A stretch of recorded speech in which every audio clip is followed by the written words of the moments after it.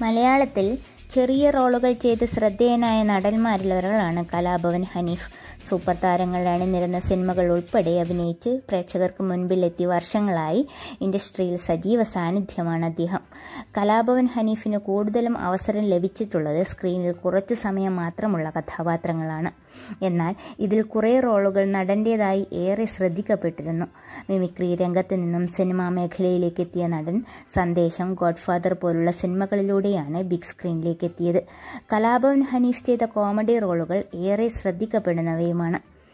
ആയിരത്തി തൊള്ളായിരത്തി എൺപത്തൊമ്പത് ഒക്ടോബർ പന്ത്രണ്ട് തന്റെ മകൻ ഷാരൂഖ് ഹനീഫ് വിവാഹിതനായ വിവരമാണ് ഇൻസ്റ്റഗ്രാം അക്കൗണ്ടിലൂടെ താരം പങ്കുവച്ചത്. ഷാരൂഖ് വിവാഹം കഴിച്ചത് ചിപ്പുവിനെയാണ്. ഡിസംബർ ഇരുപത്തഞ്ചിനാണ് വിവാഹം നടന്നത്. അടുത്ത ബന്ധുക്കളും ഹനീഫിന്റെ സുഹൃത്തുക്കളും ചടങ്ങിൽ പങ്കെടുത്തു.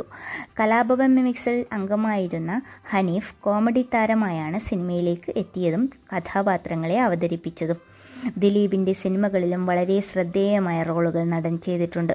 മുൻപ് മനോരമയ്ക്ക് നൽകിയ ഒരു അഭിമുഖത്തിൽ ദിലീപിന്റെ സിനിമകളിലെ തന്റെ സ്ഥിരം സാന്നിധ്യത്തെക്കുറിച്ച് ഹനീഫ് മനസ്സ് തുറന്നിരുന്നു.